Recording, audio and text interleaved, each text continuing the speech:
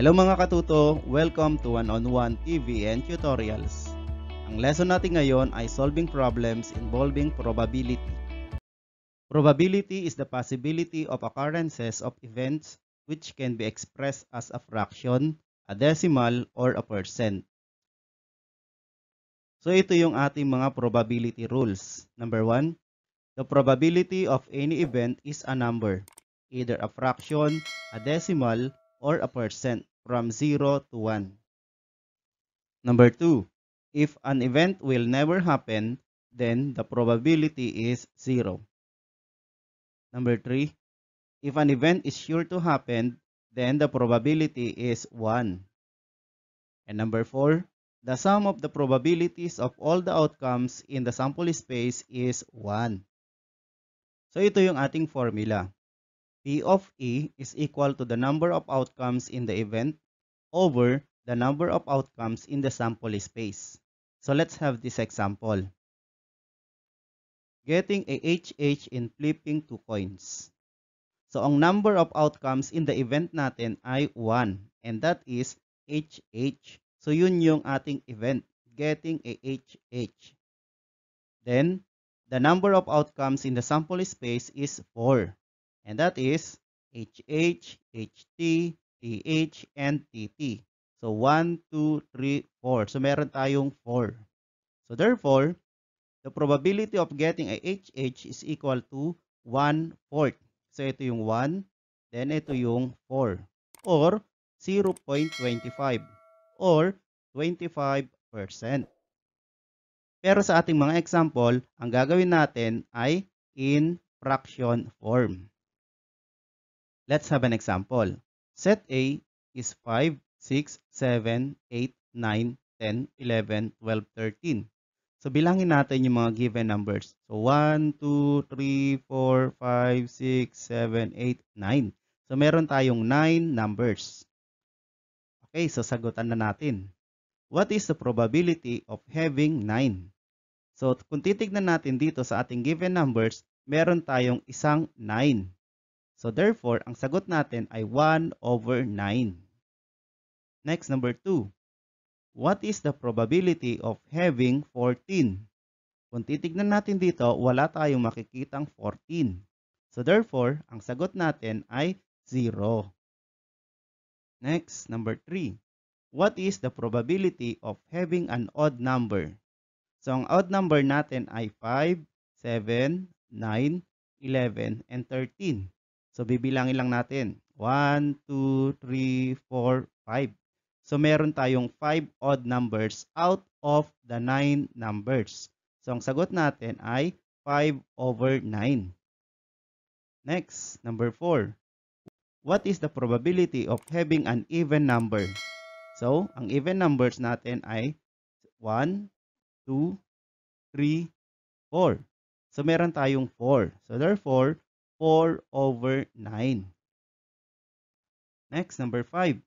What is the probability of having a number divisible by 3? So, kung titignan natin, ang divisible by 3 ay 6, 9, and 12. So, meron tayong tatlo. So the answer is 3 over 9 or the lowest term of that is 1 third. So the answer is 1 third. Next, number 6. What is the probability of having a number greater than 10? So kung titignan natin dito, ang mga numbers greater than 10 ay 11, 12, and 13. So that is 3. So 3 over 9 or 1 third. Next, number 7. what is the probability of having a number divisible by 2 and 3? So, ang divisible by 2 and 3 dito ay 6 and 12. So, meron tayong dalawa. So, that is 2 over 9. Next, number 8. What is the probability of having a number less than 14?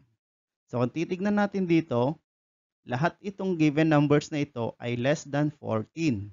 So, therefore, ang sagot natin ay 1. Next, number 9. What is the probability of having a composite number? Ano nga ba ang composite number? Ito yung mga given numbers na pwede nating i-factor maliban sa 1. So, therefore, ang composite numbers natin ay etong 6, 8, 9, 10, and 12. So, ang bibilangin natin, 1, 2, 3, 4, 5. So, ang sagot natin ay 5 over 9. Next, number 10. What is the probability of having a prime number? Pag prime number naman, ito yung mga numbers na hindi pwedeng i-factor except 1. So, ito yun yung 5, 7, 11, and 13. So, bilangin natin 1, 2, 3, 4. So, meron tayong 4. So, 4 over 9. Subukan naman nating sagutan ang mga problems involving probability. Number 1. If a card is drawn from a well-shuffled deck of 52 cards, find the probability of drawing an ace, a diamond, and a face card. So, simulan natin sa ace. So, pag sinabi nating ace, so meron tayong ace of heart, ace of diamond, ace of club, and ace of spade. So, meron tayong 4. So, ang sagot natin ay the probability of drawing an ace is 4 over 52. Saan nakuha itong 4? Ito yun yung heart, diamond, club, and spade. How about this 52? ito yung number ng cards which is 52. And the lowest term of 4 over 52 is 1 over 13. Okay, next. Find the probability of drawing a diamond. So, ace, 2, 3, 4, 5, 6, 7, 8, 9, 10, jack, queen, king. So, kung bibilangin natin ito, meron tayong 13. So, ang probability of drawing a diamond is 13 over 52. Kung bibilangin natin ito, ito ay 13 over 52, yung number ng cards natin. At ang lowest term nito ay 1 fourth. So let's have the third one. Find the probability of drawing a face card.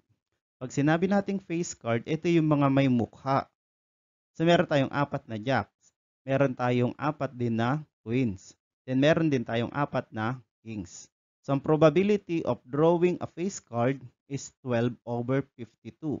So, kung bibilangin natin ito, so 4, 8, 12. So, meron tayong 12 over 52 or 3 over 13.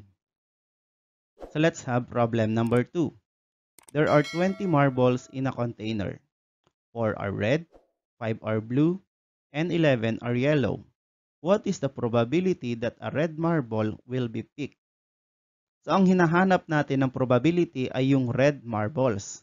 Kung titignan natin dito, there are 4 red marbles.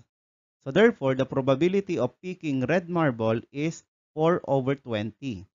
Yung 4 ay yung number ng red marbles at yung 20 naman ay yung total ng marbles. So, 4 over 20 or 1 over 5. Okay, next, number 3. Daryl is asked to choose a day from a week. What is the probability of choosing a day which starts with S?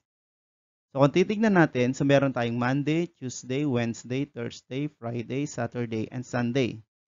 So doon sa may 7 days na yon, so meron tayong dalawa na nagsisimula sa letter S. And that is Saturday and Sunday. So therefore, the probability of choosing a day which starts with S is 2 over 7. Yung 2 ay yung Saturday and Sunday. Then yung 7 naman ay yung Monday, Tuesday, Wednesday, Thursday, Friday, Saturday, Sunday. Next, number 4. Choosing a month from a year. What is the probability of selecting a month with 31 days? So therefore, the probability of selecting a month with 31 days is 7 over 12. So meron tayong 7 months na may 31 days. So ito yung January, March, May, July, August, October, and December. So let's have problem number 5. If a letter is chosen at random from the word perseverance, what is the probability that the letter chosen is E? So, ang una natin gagawin dito ay bilangin natin yung letter E. So, meron tayong 1, 2, 3, 4. So meron tayong apat na letter E. Then bilangin din natin kung ilang letters yung word na perseverance. So 1, 2, 3, 4, 5, 6, 7, 8, 9, 10, 11, 12. So meron tayong 4 over 12 or lowest term of that is 1 third. Next, number 6. The sides of a cube are numbered 11 to 16. If Renz rolled the cube once, what is the probability of getting a composite number? So yung 11 to 16, so that is 11, 12, 13, 14, 15, 16. Then, ang composite numbers dito ay yung 12, 14, 15, 16. So meron tayong 4. 4 over 6 or that is 2 third. Okay, next, number 7. Out of 45 students in a class, 25 are boys. If a student is selected at random for a field trip, what is the probability of selecting a girl? So, ang sagot natin ay the probability of selecting a girl is 20 over 45. Saan nanggaling itong 20? Ito yung number ng girls. Then yung 45 naman ay yung total ng students. Or the lowest term of this is 4 over 9. So ganyan lang mga katuto kung paano mag-solve ng problems involving probability. Para mas lalo nyo pang maintindihan ang lesson natin ngayon, pwede nyo ring sagutan ang mga sumusunod na mga tanong. Sana nakatulong ang video na ito para mas lalo nyo pang maintindihan ang lesson nyo sa mathematics. Thank you for watching. See you in my next video. Bye!